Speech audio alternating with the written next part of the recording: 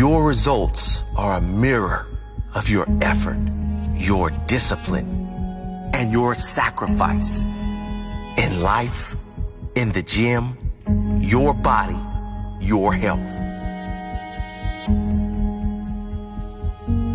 Effort. You can talk all you want. Results don't lie.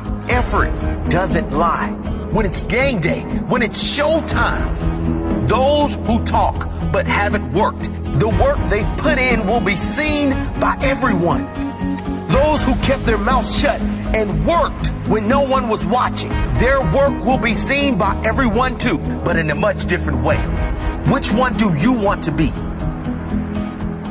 Sacrifice. If you don't sacrifice for what you want, what you want will become the sacrifice. And you will have to settle for a life you do not want.